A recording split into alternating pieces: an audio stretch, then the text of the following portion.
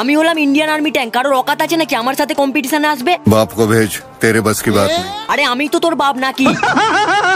আরে দেখা যাবে কার কত দম। তুই কম্পিটিশন শুরু কর। তো পাকিস্তানিরা ভিডিওতে কমেন্ট করে পাকিস্তানের পাওয়ার দেখিয়ে দাও। আর তুমি যদি ইন্ডিয়া থেকে দেখে থাকো আর ইন্ডিয়ান আর্মি লাভার হয়ে থাকো, তাহলে লাইক ও সাবস্ক্রাইব করো। এটা আমার ইঞ্জিন বাইশ হাজার সিসির হয়ে থাকে, যা বারোশো এইচপির পাওয়ার দেয়। আর তোর বলেছিলাম না, বাপের সাথে পাঙ্গা নিস না, আমার ইঞ্জিন পঁচিশ হাজার সিসির যা পনেরোশো এইচপির পাওয়ার দিয়ে থাকে। বাহ ভাই, তুই তো অনেক পাওয়ারফুল আরে পাওয়ারফুল তো হব ইন্ডিয়ান আর্মির ট্যাঙ্ক বলে কথা। আচ্ছা বেটা, তোর প্রাইস কত? আমি তো চল্লিশ কোটিতেই চলে আসি, আর তুই? আরে আমার প্রাইসে তোর পুরো পাকিস্তান চলে আসবে। প্রাইসটা শোন, একশো দশ কোটি। যাই হোক, যুদ্ধে তো আমিই জিতবো। আরে সেটা তো অডিয়েন্সই ঠিক করবে, কে জিতবে? তবে ভুল করেও কখনো আমার সামনে আসিস না, নয়তো bye bye tata good bye Gaya.